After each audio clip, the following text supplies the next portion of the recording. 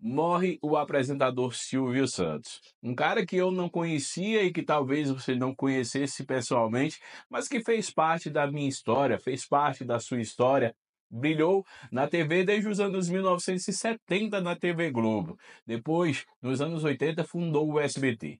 E aí entrou nas nossas casas durante muitos domingos, com o programa Silvio Santos, com show de calouros, com Topa Tudo por Dinheiro. Foram várias histórias que somente eu e você a gente pode contar. Silvio Santos tinha 93 anos de idade e morreu nesse sábado em São Paulo.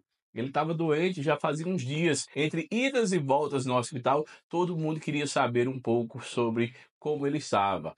Parecia um tio que todo mundo realmente conhecia e que partiu. Foi para o andar de cima. Deve estar tá brilhando lá com Web, com Golias, com seu Manuel da Nóbrega, com tanta gente que marcou a TV brasileira, marcou a nossa história. E Silvio vai levar o baú cheio de felicidade lá para o céu. Aproveita, manda sua mensagem. Em que momento da sua vida Silvio Santos te marcou? Na minha foram muitos e com certeza vai deixar muita saudade.